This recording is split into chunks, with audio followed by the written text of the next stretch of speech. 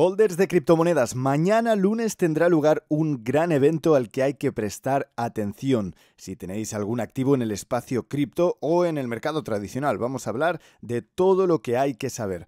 Vamos a hablar de lo que podéis hacer ahora para prepararos y vamos a hablar de lo que veo que podría ocurrir con Bitcoin y el cripto en los próximos 12 meses y mucho más. Bienvenidos a todos, me llamo Gerard trayendo vídeos de criptomonedas cada día para enseñaros a ganar dinero en este mercado. Si eres nuevo en este canal, asegúrate de suscribirte y activar la campana ahora mismo. Entonces, ¿qué podemos ver aquí primero en el marco de tiempo de 4 horas? Todavía seguimos con el rechazo en la caja naranja en 22.500. Estamos yendo hacia los lados, tenemos una tendencia a la baja. Esto está en línea con lo que esperábamos. De hecho, volvamos a mirar los últimos vídeos. En primer lugar, hablábamos de un posible gran movimiento hace unos cuantos días, un par de días, y también os decía que teníamos una señal saltando ya, y esa señal ha sido históricamente muy precisa. Y esto fue en el gráfico de tres días donde teníamos el cruce del MACD y desde ese punto por supuesto vimos un buen pump del 13% más o menos. O sea que sí vimos ese gran movimiento y sí vimos esa señal otra vez, al menos nos dio un movimiento temporal.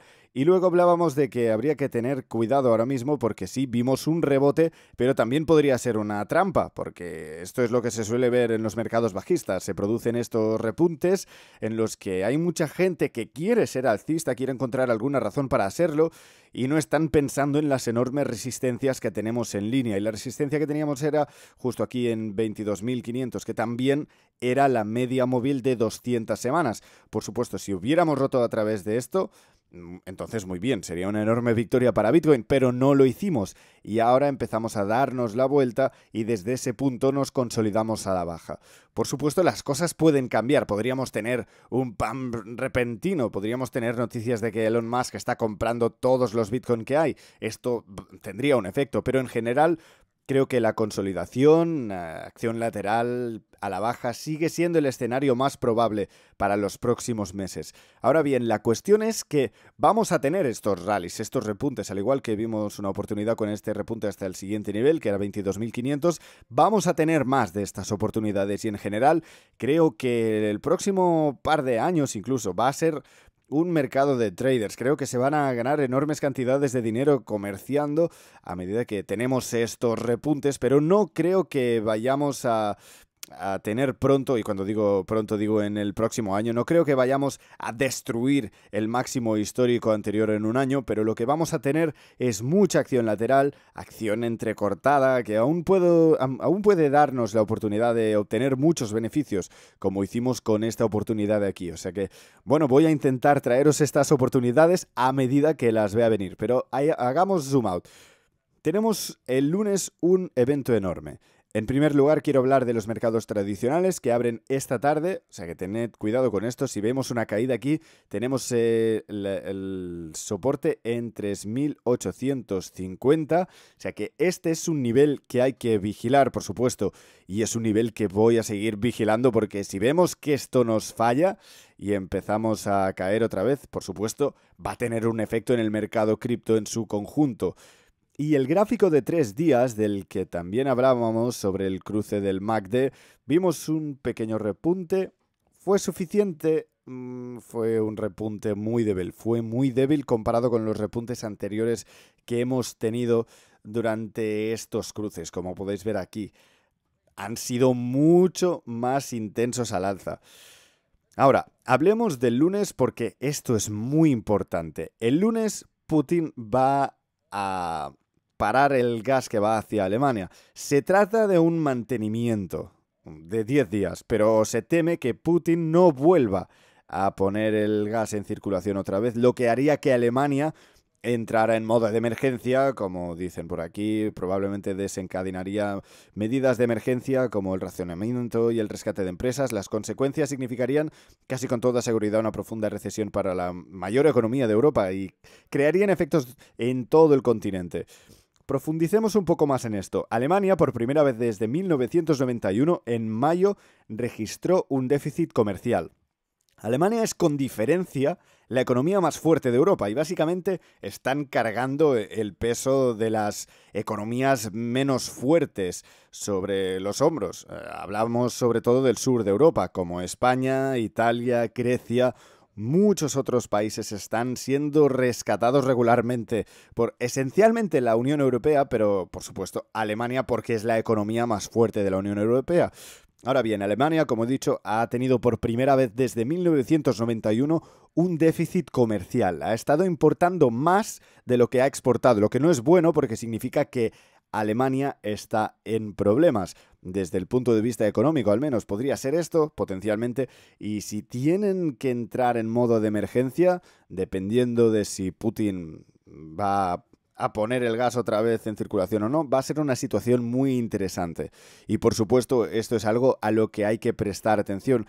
Y además tenemos la curva de rendimiento del Tesoro estadounidense, que es el rendimiento de 10 años frente al de 2 años en los bonos del Tesoro.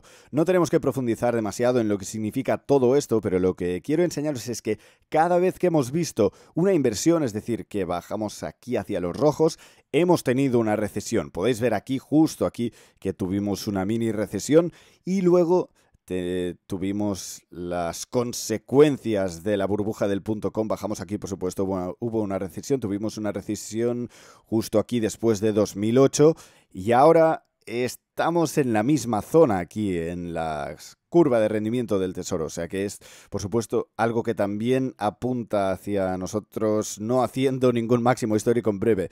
Y como he dicho, no creo que vayamos a bajar a 10.000 dólares ni nada parecido, pero creo que hay una buena posibilidad de que volvamos a visitar este fondo anterior. Y en general, solo yendo de lado, haciendo algo así muy probablemente durante unos cuantos meses, pero esto también va a tener enormes oportunidades de trading. Imaginad comprar aquí abajo y sacando beneficios. O sea que esto es algo... Bueno, estoy anticipando algo más o menos así y voy a actuar sobre ello. Y si queréis por supuesto, ver si queréis ser parte de esto, aseguraos de suscribiros y activar la campana. Y si queréis reclamar un bono de trading, por supuesto, podéis reclamar 4.530 dólares en Bybit. Así que aseguraos de reclamarlo si estáis interesados. Y también, por supuesto, Bookmap. Este es el último día para tener un 20% de descuento. Ha, sido un código semanal. O sea que si queréis conseguir Bookmap, aseguraos de utilizar este enlace al comprar el software. Y veamos la liquidez actual. De hecho, en el libro de órdenes en Bookmap podéis ver que tenemos una liquidez decente ahora mismo en 20, 21.200 aproximadamente. Ahora bien, una cosa muy interesante es que he observado que de vez en cuando se añade una enorme liquidez en torno a los 21.200. Estoy hablando de unos 3.000 Bitcoin, eh, enormes cantidades de presión de compra en este nivel. O sea que en general creo que podríamos establecer 21.200 al menos como un nivel a corto plazo, un, tipo de soporte enorme.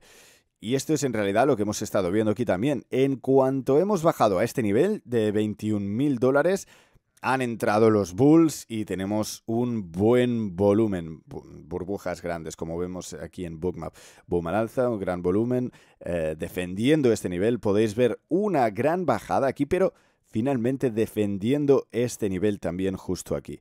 O sea que tenemos algo de liquidez decente en este nivel. Las ballenas tienden a querer intervenir y comprar ahí. O sea que ya veremos si esto sigue siendo así, si tenemos una acción lateral prolongada, quizá hoy y mañana. Y por último quiero hablar de Three Arrows Capital.